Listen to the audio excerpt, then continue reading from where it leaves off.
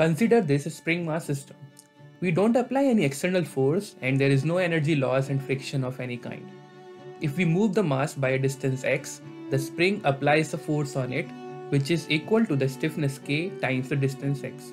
And it is opposite in direction to the displacement, therefore it has a negative sign.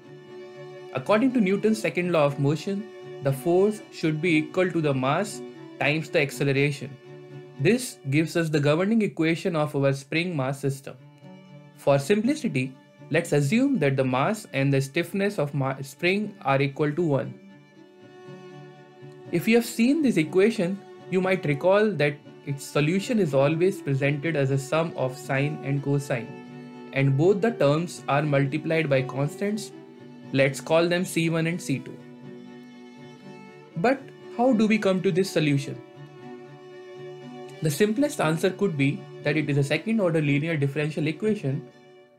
Also, we know that sine and cosine independently satisfy the equation. Therefore, the sum should define the complete solution. And the constants C1 and C2 are determined by the initial conditions. Let's take a step back here.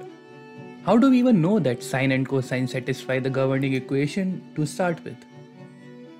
Did somebody try multiple functions and then found out? That definitely does not seem to be the best approach to solve the problem. Is there any generic method to obtain this solution? To find that, we will start from the very basic. Without loss of generality, we can write any differential function x of t as a power series with infinite terms. Let's write it in the expanded form up to the first 5 terms. Now we will differentiate it with respect to t. The constant a0 turns 0. Likewise, we get the terms a1 plus 2a2t plus 3a3t square and so on.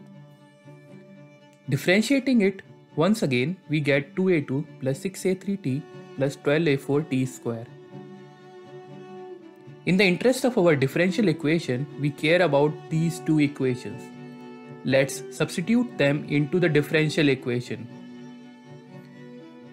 We have infinite series on both the sides. So now let's write them back in the compressed form. On the left side, we have a series from n equal to 0 to infinity with coefficients n plus 1 times n plus 2 times a n plus 2 and t raised to the power n. The right side is our simple power series just with a negative sign. Now if this is a general solution, this should satisfy for any value of t. Therefore, the coefficient of every term must be equal.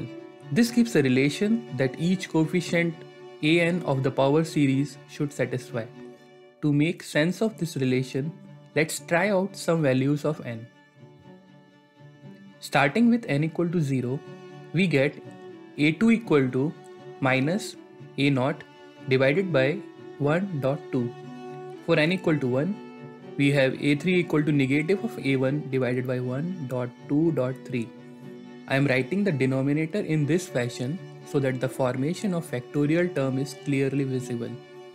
Similarly, for n equal to 2, a4 is equal to minus of a2 divided by 3.4. But a2 can be written in terms of a0 which gives us a4 equal to minus 1 square times a 0 divided by 4 factorial.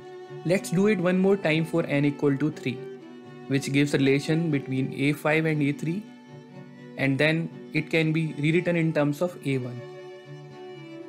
From this exercise we can see that all the even numbered coefficients are related to a0 and the odd numbered are related to a1 as written here. Let's rewrite the power series as the sum of even and odd number terms. Then Substitute the values of the coefficients as we derived earlier. Now we can replace the even numbered n by 2 times m and odd numbered n by 2m plus 1. Still, it is a very complex looking infinite series. Here we just need a small observation to simplify it, which is that the first series is the power series of cosine and the second one is of sine.